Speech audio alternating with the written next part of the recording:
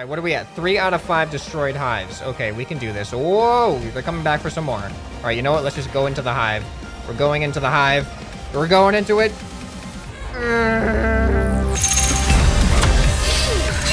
Welcome, ladies and gentlemen. This is Scrapman bringing you an episode of Nimbatus the Space Drone Constructor. I know a lot of you guys like Cosmoteer on the channel, so I figured you might want to see this game as well. So I reached out to the developers, they sent me a key, and uh, they do have a Kickstarter for it. It's in pre-alpha right now. If you want to play the demo after seeing my video, then uh, go check out their Kickstarter. You can get the demo there.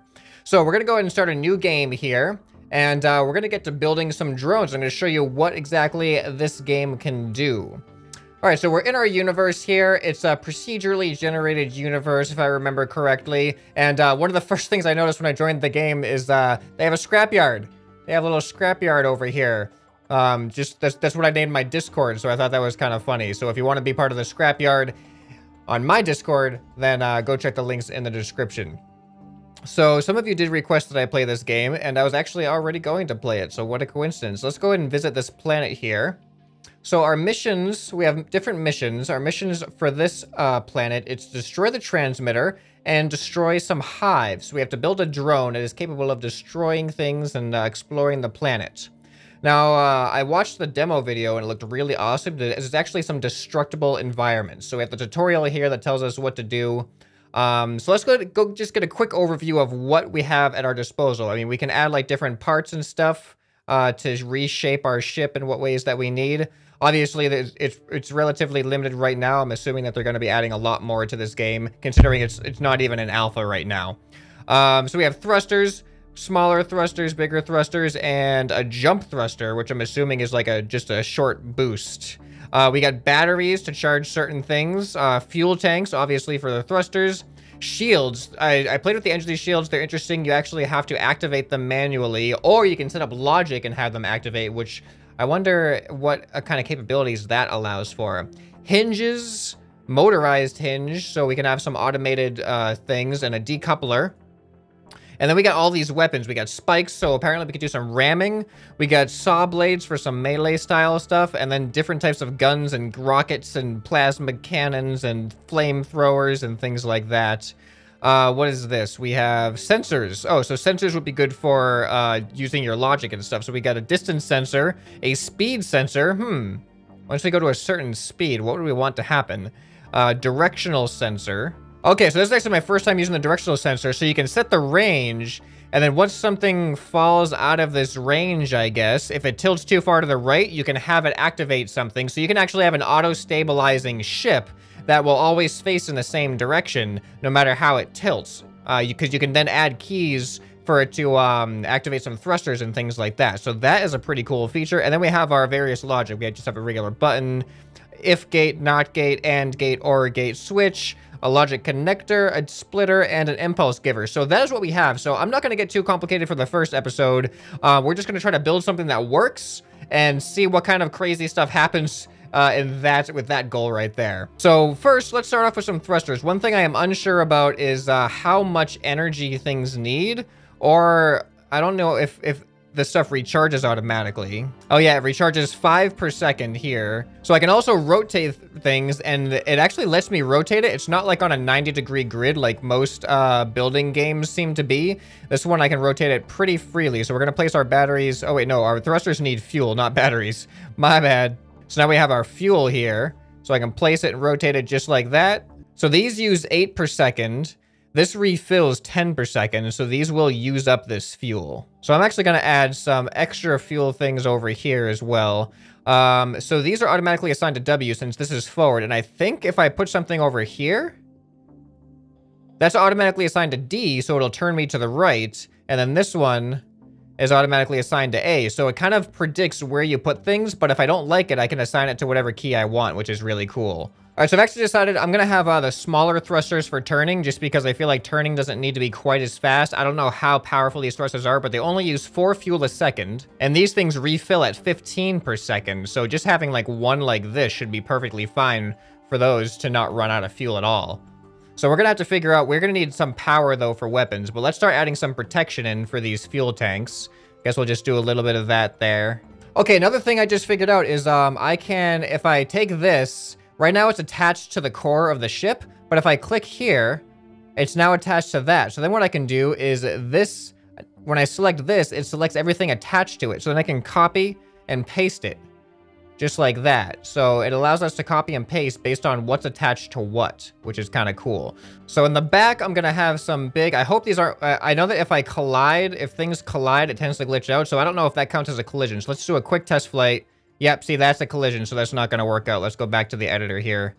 So we're going to have to move that back just a little bit. There we go, that looks good. And now, oh, you know what? I'm going to use this instead. We're to do a little bit of that, and we're to get rid of that. So let's do a quick test to see how well these uh, small thrusters do at turning. So we turn left, we turn right. You know what? I actually feel like they're not enough. Let's see how that compares to the bigger thrusters. So now, oh yeah, that is much better. And we got forward. Look at this. Look at this. Woo! All right, oh, we got some enemies. I don't have any weapons. What happens if I ram them? What happens if I ram them? Oh, they avoid me. Clever. Oh, there's a wall, though. Oh, and that didn't do anything. All right. Uh, how's their damage, though? What are they doing here? They're not... I don't see anything blowing up quite yet. Let's see if they can blow up something. How long does it take for these little weapons here? All right, well, there must be some type of invincibility thing or something because I'm not dying. So let's get back into... Uh, let's see. We need to put... So now these are shields. So I can put shields down here. Now, how much area does these shields cover? I'm going to add them to right-click so now, oh, it doesn't really cover the front. It only covers the back. So we're going to have to move those up. How's that going to be? That's not, that's okay. I'm kind of vulnerable in back right now, so I'm going to cover my, cover my back here so that we don't uh, get our fuel tanks and stuff destroyed. So now here's a question. I don't know if my fuel, uh, if my jets need to be uncovered or what happens if they get blocked. That seems fine. I'm perfectly covered back there. And I'm getting a lot of weight on me right now, so we might need a little bit more forward thrust, to be honest, but we'll see what happens. So now we need to add some weaponry. So what I can see here, I think these things, these little gun things right here, are they follow your mouse. So wherever you're pointing, they will aim. But these other things, like the lasers and the snipers, uh, they only face the direction that your ship is facing. So we have to keep that in mind. So this is what? This is an EMP rocket gun tower. And this is a bullet gun tower. They both need energy to work. We have a lot of energy. How much is this?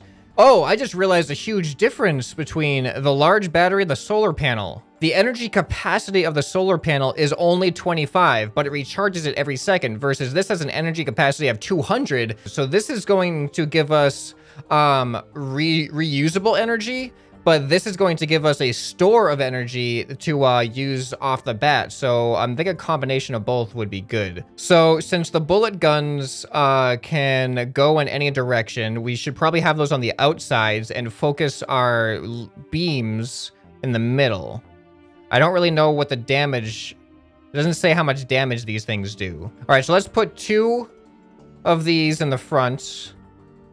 Oh, and it gives me, I think it gives me the details of it here. So these, um, these plasma short beam lasers, they take plasma ammunition. They have a short beam, plasma short beam, uh, but they also have a digging upgrade. Biochemical ammunition, bullets. So I wonder if we're having different enemies that are weaker against certain types of ammo.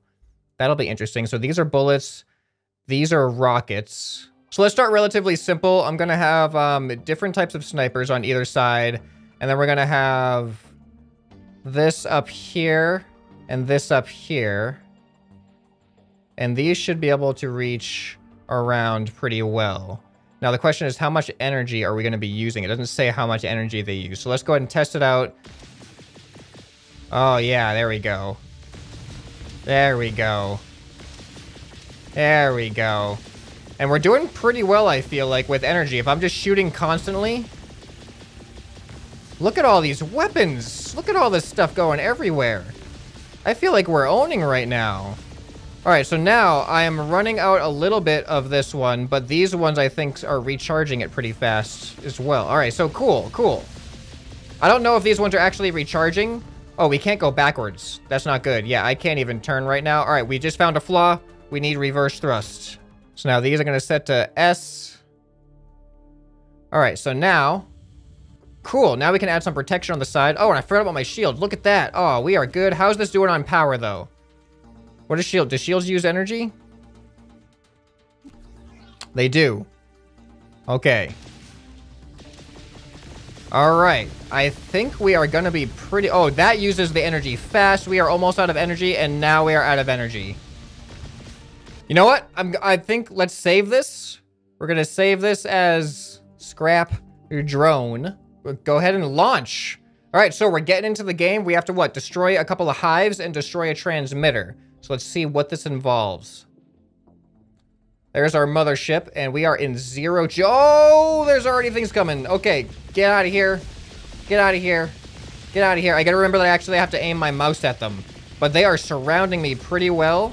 Let's go ahead and activate our shields really quick while these things are attacking. Are they infinite? Oh, there's a hive right there. I should probably destroy the hive, huh? That might help. Oh, there's another hive coming. Okay, there's a lot more enemies here than I expected there to be. So let's go ahead and move backwards. Let's recharge a little bit. Can we sustain our shields? I think we can sustain our shields uh, at 25 power. All right, good, good, good, good, good, good, good. All right, there's definitely a hive over here somewhere. So let's go ahead and get towards this hive. Oh, there's turrets on the ground too? Nobody told me there was going to be turrets. I hope they're not going to be doing too much damage. All right, there we go. That hive is done. Let's get, go ahead and uh, get out of here for a little bit. Oh, they're following me. They're following me. All right, I think we're okay for damage, though. We've destroyed two hives. We also need to destroy... Whoa, a transmitter. You know what? Can I destroy this thing? Oh, look, we're digging through the ground. Look at this. This is awesome. Oh, that is so cool. All right, destructible terrain is a win for this game for sure. But let's uh, destroy these things while we're here as well.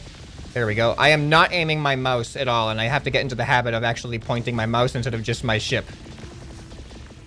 All right, we'll destroy that thing. All right, let's recharge our batteries here. Just gonna recharge really quick. Oh, the closer I get to the planet, the stronger the gravity is.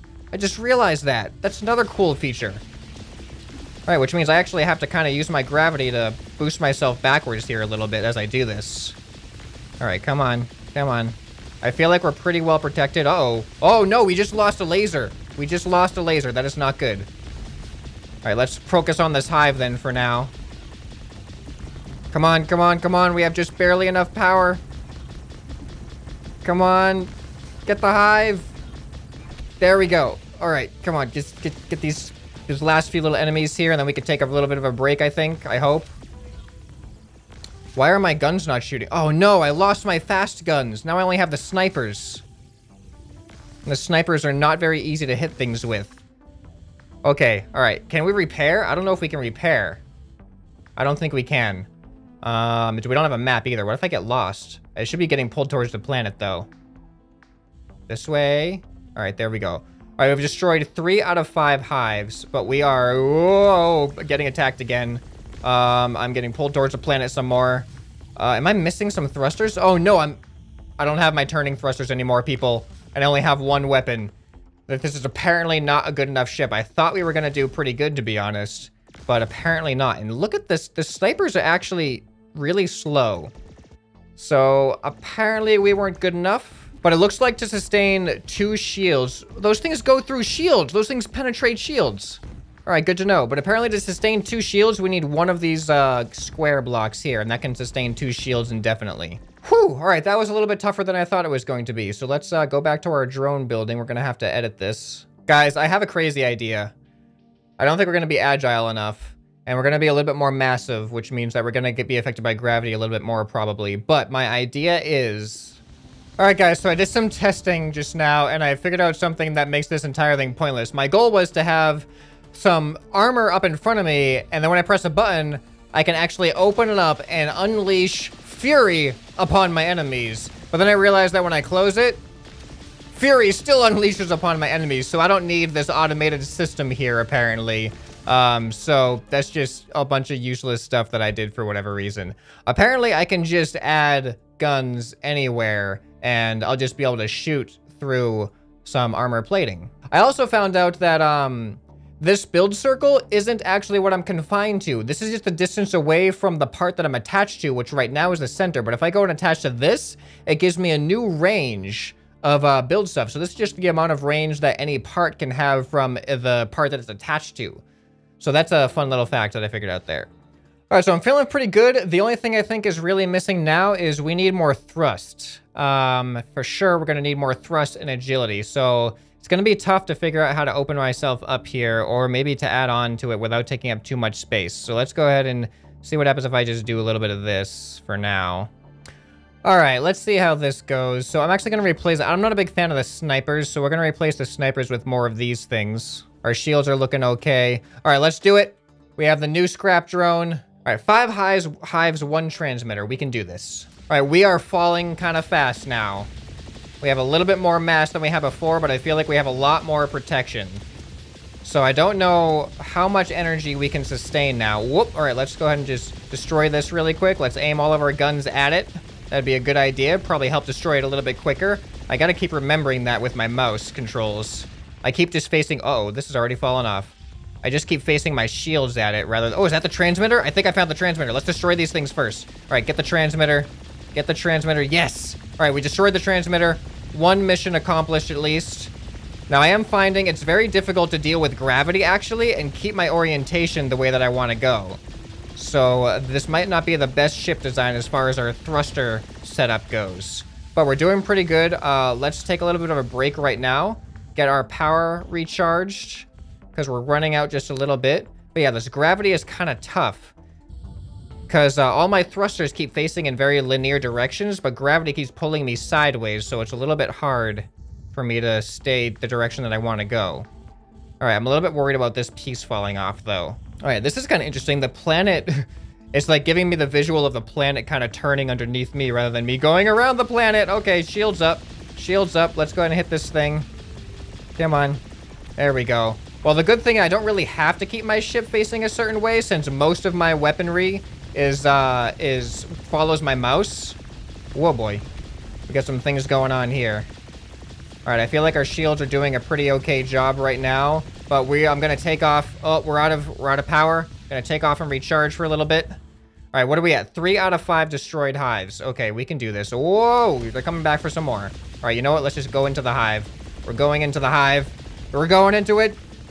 Come on. Oh, our power's running out. That's not good. Okay, we just need to destroy these things. Get them out of the way.